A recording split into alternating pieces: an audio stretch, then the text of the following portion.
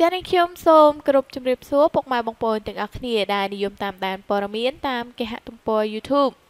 ចាថ្ងៃនេះនាងខ្ញុំមានព័ត៌មានមួយដែលចង់ចែកជូនពុកម៉ែបងប្អូនទាំងអស់គ្នាតាមដានសម្រាប់ក៏ដូចជាទស្សនាចានៅព័ត៌មាននេះគឺតកតងទៅនឹងតារាសម្ដែងជើងចាស់ដ៏ល្បីគឺលោកខៃប្រសិទ្ធប្រកាសស្វែងរកនារីម្នាក់ដែលព្យាយាមលោតទឹកសម្លាប់ខ្លួននៅស្ពានជ្រោយចង្វាដើម្បីមកធ្វើជាកូនស្រី។ ចាពុកម៉ែបងប្អូនទាំងអស់គ្នាចាចង់ជ្រាបពីព័ត៌មានមួយនេះឲ្យកាន់តែច្បាស់ថាថាតើយ៉ាងណានោះចាសូមតាមដានជាមួយនឹងខ្ញុំដូចតទៅ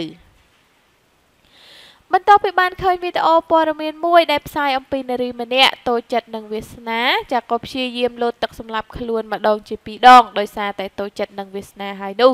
ចាគឺបានធ្វើឲ្យមហាជនជាច្រើនមានការអាណិតអាសូរមកលើរូបនាងចាដោយសារតែរាល់ថ្ងៃគ្មានឪពុកម្ដាយបងប្អូនសាច់ញាតិផងនោះ ចាយ៉ាងណាមិញការដែលបានឃើញព័ត៌មាននេះហើយដោយចានឹងដោយទឹកចិត្តសន្តោសមេត្តាផងនោះតារាសម្ដែងជើងចាស់ដែលបច្ចុប្បន្នកំពុងតែរស់នៅក្រៅប្រទេសគឺលោកខៃប្រសិទ្ធបានប្រកាសក្នុងការចាស់នៅក្នុងបណ្ដាញផ្ទាល់ខ្លួនរបស់លោកថា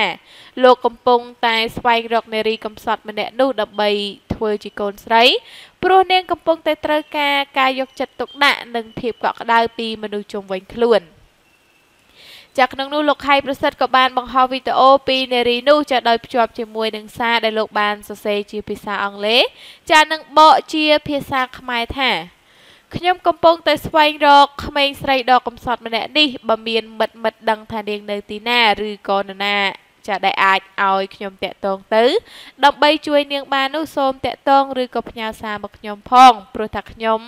អាចទទួលនាងយកមកធ្វើជាកូនស្រីរបស់ខ្ញុំបានខ្ញុំជឿជាក់ថានាងបានតស៊ូរស់ទាំងត្រដរនាងពិតជាត្រូវការជំនួយខ្លាំងណាស់យ៉ាងណាមិញជាមួយនឹងការប្រកាសស្វែងរកក្មេងស្រីអាយុ16ឆ្នាំដ៏កំសត់ពីសំណាក់លោកខៃប្រសិទ្ធនៅពេលនេះគេមិនទាន់បានដឹងនៅឡើយទេថាដំណើររឿងបន្តទៅទៀតទៅជាយ៉ាងណានោះចាជាមួយគ្នានេះក៏មានមហាជននៅក្នុង Facebook ជាច្រើនចាដែលបានចាសំទោស បានមានចិត្តអាណិតនាងចាហើយក៏មានអ្នកខ្លះថាក្មេងស្រីនោះមិនសូវគ្រប់ទឹកទៀតផងចតាយ៉ាងណាបើតាមវីដេអូគឺក្មេងស្រីម្នាក់នេះមានការតូចចិត្តនិងវាសនារបស់ខ្លួន និងពិតជាត្រូវការជំនួយនិងភាពកក់ក្ដៅពីមនុស្សនៅជុំវិញខ្លួនខ្លាំងណាស់ចាពុកម៉ែបងប្អូនទាំងអស់គ្នាចានេះគឺជាព័ត៌មានមួយដែលតកតងទៅនឹងចាតារាសម្ដែងជើងចាស់គឺលោកខៃប្រសិទ្ធចាដោយសារតែការពីពេលថ្មីថ្មីនេះចាគឺនៅ បណ្ដាញសង្គមគឺមានការល្បីល្បាញយ៉ាងខ្លាំងចានៅក៏ដូចជាមានការបង្ហោះយ៉ាងប្រុងប្រយ័ត្នតែម្ដងតកតងទៅនឹងចាក្មេងស្រីម្នាក់អាយុ16ឆ្នាំចាដោយ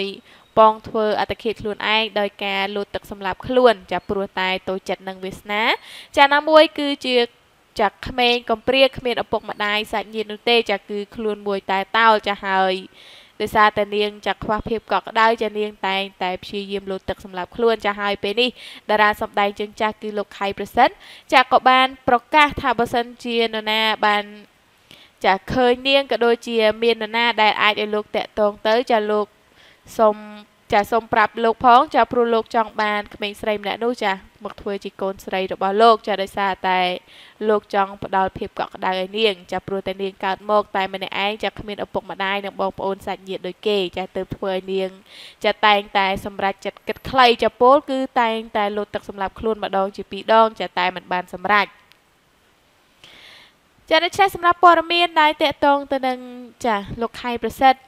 ចានេះខ្ញុំក៏សូមបញ្ចប់តែប៉ុណ្ណេះ សូមអរគុណរកការតាមដាននិងការចុច Subscribe របស់បងប្អូនទាំងអស់គ្នាមកកាន់ Channel នេះខ្ញុំចាហើយនេះខ្ញុំក៏សូមខន្តីអភ័យទោសផងដែរចានៅពេលដែលនេះខ្ញុំអានចាក៏ដូចជាអត្ថាធិប្បាយនៅកន្លែងណាមួយចាវាមានភាពប្រដាប់ប្រដប់ចាក៏សូមខន្តីអភ័យទោសផងចាខណៈពេលនេះចានេះខ្ញុំសូមបង្វែរអារម្មណ៍ពុកម៉ែបងប្អូនទាំងអស់គ្នាទៅតាមដានទស្សនាព័ត៌មានទី2ដែលជាព័ត៌មានបន្តផងដែរ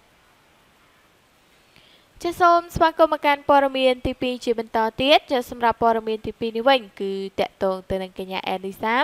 ត្អូញត្អែរឿងសម្រកគីឡូមិនបានលទ្ធផលរហូតមកទល់នឹងពេលនេះកញ្ញាអេនីសាមនៅតែមានរូបរាងធាត់ទលុកទលន់ទោះបីជានាងព្យាយាមសម្រកដោយការហាត់ប្រាណនិងតមអាហារក្តី ចាពេលនេះកញ្ញាអានីសាមហាក់មិនខ្វល់អ្វីឡើយចានាងលេចមុខនៅក្នុងសកម្មភាពសិល្បៈថ្មីថ្មីជាច្រើនចាក្នុងនោះក៏មានអ្នកគាំទ្រជាច្រើនលើកឡើងថាធាត់បន្តិចមែនតែមើលទៅអានីសាមស្រស់ស្អាតគួរឲ្យស្រឡាញ់ខ្លាំងណាស់ចាក្រោយពីស្ងប់ស្ងាត់សិល្បៈមួយរយៈពេលនេះអានីសាមលេចមុខជាថ្មីទាំងចានៅក្នុងកម្មវិធីរបស់ទ្រូទួថោននិងស្ថានីយ៍ទ្រូទួនានាចាថ្មីថ្មីនេះស្រីស្អាតអានីសាម ក៏ទើបតែត្រឡប់មកពីច្រៀងនៅប្រទេសកូរ៉េជាមួយនឹងកញ្ញាស៊ូស៊ីរីកា និង VJ Alasko ផងដែរអ្នកគាំទ្រខ្លះលើកឡើងថាការឡើងគីឡូខ្លាំងរបស់អានីសាមក៏អាចធ្វើឲ្យប៉ះពាល់ដល់ទឹកដមសម្លេងរបស់នាងដែរចាយកល្អនាងគួរតែព្យាយាមសម្រកគីឡូឲ្យបាន។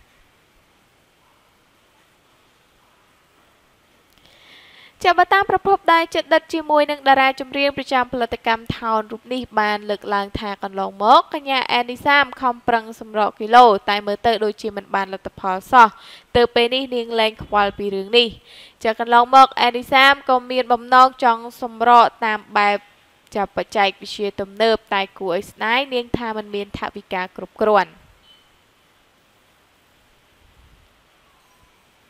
ចាក្រៅពីការងារសិល្បៈកញ្ញាអេនីសាមក៏មានចាជាការលក់ផលិតផលរក្សាសម្រស់តាមអនឡាញផងដែរចាពុកម៉ែបងប្អូនទាំងអស់គ្នា ចានេះគឺជាព័ត៌មានមួយដែលតកតងទៅនឹងតារាចម្រៀងស្រស់ស្អាតរបស់ផលិតកម្មថោនគឺកញ្ញាអេនីសាមចាពុកម៉ែបងប្អូនទាំងអស់គ្នាចាបានឃើញហើយថាកញ្ញាអេនីសាមឥឡូវចាគឺមាន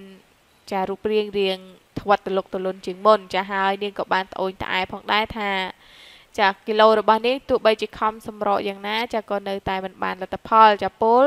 ទាំងការហាត់ប្រានក៏ដូចជាការតមហាក្តីចាប៉ុន្តែគឺនៅតែធាត់ដដែលចាគឺអត់ព្រមស្រកគីឡូសោះចាហើយពីដំបូងនាងគិតថានាងខ្មាស់គេមិនហ៊ានឡើងឆាកនោះទេចាប៉ុន្តែមកដល់ពេលនេះគឺចាមានតែតែ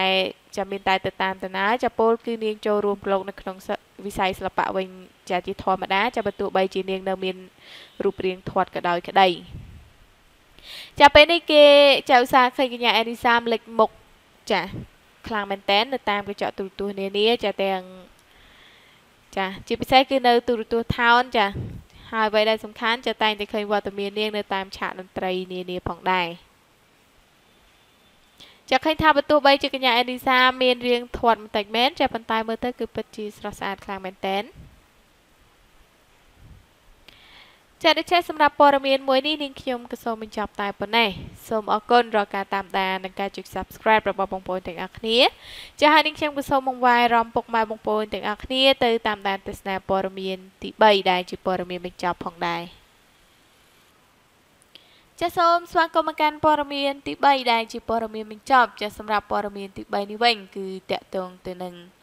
កូនស្រីរបស់អ្នកនាងប៊ីរីយ៉ាអាយុទៅតែ3ឆ្នាំសោះអាចមានឱកាសទៅថតស្ពតពាណិជ្ជកម្មនៅឯក្រៅប្រទេស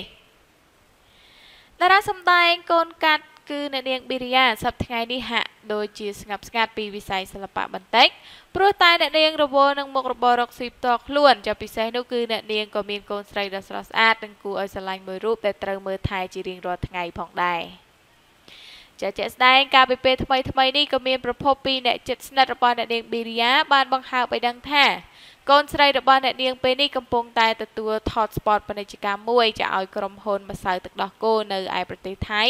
ចារីឯតម្លៃខ្លួនវិញក៏មិនចាញ់តារាល្បីៗនៅក្នុងប្រទេសយើងប៉ុន្មាននោះដែរចាប់ពិតណាស់នេះក៏ ចាក៏ព្រោះតែកូនស្រីរបស់អ្នកនាងប៊ីរីយ៉ាមានសម្រស់ស្រស់ស្អាតចានឹងជាពិសេសនោះគឺទេពកោសល្យសិល្បៈពីកំណើតនេះតែម្ដងចាទើបធ្វើឲ្យក្រុមហ៊ុនម្សៅទឹកដោះគោល្បីឈ្មោះនៅប្រទេសថៃអញ្ជើញយកទៅថតស្ពតពាណិជ្ជកម្មបែបនេះចាពុកម៉ែបងប្អូនទាំងអស់គ្នាចានេះគឺជាព័ត៌មានមួយដែលតកតងទៅនឹងកូនស្រីរបស់អ្នកនាងប៊ីរីយ៉ាចាដោយសារតែការពីពេលថ្មីថ្មីនេះចាឃើញថាអ្នកនាងប៊ីរីយ៉ាតែងតែបង្ហោះរូបកូននៅចាក្នុងបណ្ដាញសង្គមចារហូត ចាធ្វើឲ្យកូននាងល្បីខ្លាំងមែនតែនចាពលគឺល្បីដល់ប្រទេសថៃទៀតចាដោយម្សៅទឹកដោះគោចាក្រុមហ៊ុនម្សៅទឹកដោះគោចាបានអញ្ជើញកូនស្រីរបស់នាងប៊ីរីយ៉ាទៅថតនៅដល់ប្រទេសថៃទៀតចានេះគឺជារឿងមួយដែលគួរភ្ញាក់ផ្អើលខ្លាំងមែនទែនចាហើយបើនិយាយពីតម្លៃនៃការថតស្ពតនេះវិញចាក៏មិនធម្មតាដែរចាដូចយើងបានដឹងពីមុនមកហើយចាគ្រាន់តែថត spot ចាប់ពាណិជ្ជកម្មម្សៅទឹកដោះគោរយៈពេល3-4នាទីនេះចាគឺកូនស្រីប៊ីរីយ៉ាទទួលបានតម្លៃខ្លួនចា6000ដុល្លារឯណោះចាគឺជារឿងមួយដែលគួរឲ្យកោតសើខ្លាំងមែនតើចាហើយយើងឃើញថាកូនស្រីរបស់អ្នកនាងប៊ីរីយ៉ាគឺពិតជាមានសម្រស់ស្រស់ស្អាតចាកាត់ទៅរកអ្នកម៉ាក់គេតែម្ដងចាពុកម៉ែបងប្អូនទាំងអស់គ្នាចាទេសនារូបភាពនេះទៅចាឃើញហើយកូនស្រីរបស់អ្នកនាងប៊ីរីយ៉ាគឺពិតជាមានសម្រស់ស្រស់ស្អាតខ្លាំងមែនតើ ចាតែងខ្លួនចេះគឺដូចជាកូនឥណ្ឌាអញ្ចឹងចាដោយសារតែម៉ាក់របស់គេ គឺជាកូនកាត់ឥណ្ឌាចាអ្នកនាងបេរីយ៉ាគឺជាកូនកាត់ឥណ្ឌាចាជាងឃើញថា កូនស្រីរបស់អ្នកនាងគឺពិតជាស្រស់ស្អាតខ្លាំងមែនទែនចានេះជាសម្រាប់ព័ត៌មានដែលតកតងទៅនឹងកូនស្រីរបស់អ្នកនាងប៊ីរីយ៉ានេះចានេះខ្ញុំក៏សូមបញ្ចប់តែប៉ុណ្ណេះ សូមអរគុណរាល់ការតាមដាននិងការចុច Subscribe របស់បងប្អូនទាំងអស់គ្នាមកកាន់ Channel នេះខ្ញុំចាហើយនេះខ្ញុំក៏សូមខន្តីអភ័យទោសផងដែរចានៅពេលដែលនេះខ្ញុំអានចាក៏ដូចជាអត្ថាធិប្បាយនៅកន្លែងណាមួយចាមានកំហុសខុសឆ្គងដែលកើតឡើងដោយចេតនានោះចាក៏សូមពុកម៉ែបងប្អូនទាំងអស់គ្នាមេត្តាខន្តីអភ័យទោសដល់រូបនេះខ្ញុំផងចាគណៈពេលនេះដែរនេះខ្ញុំសូមអរគុណនិងសូមជម្រាបលា